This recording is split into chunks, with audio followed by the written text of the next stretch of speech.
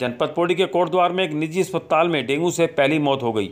मौत के कोटद्वार बेस अस्पताल में एडवाइजरी जारी करते हुए बेस अस्पताल में डेंगू बचाव के लिए दस दस वार्ड दस दस आइसोलेटेड बेड तैयार कर लिए गए।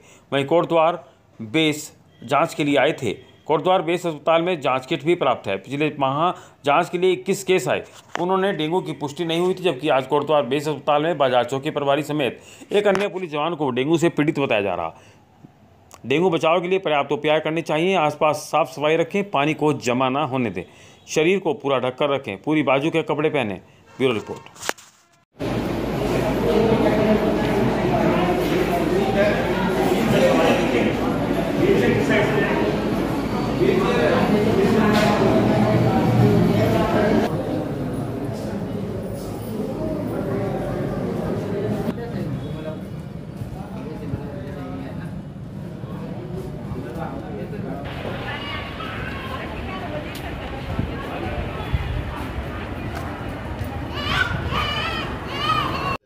नहीं हमारी तरफ़ से तो पूरी तैयारी है। जाँचें भी हमारे पास हैं डेंगू की है ना?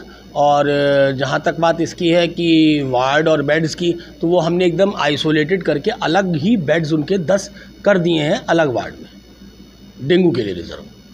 और मच्छरदानी और सारी चीज़ें हमारे पास हैं।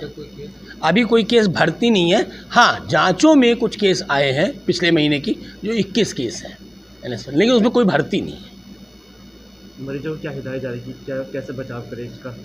ये तो नगर पालिका कर ही रही है नगर पालिका कर ही रही होगी जहाँ तक मुझे उम्मीद है जगह जगह छिड़काव कर रही होगी, पानी की ब्लॉकिंग रोक रही होगी। यही मरीजों को कहना है मैं कि पानी को जमा ना होने दें इकट्ठा ना होने दें, है ना? और फुल स्लीव की शर्ट्स पहन कर रहे हैं है ना?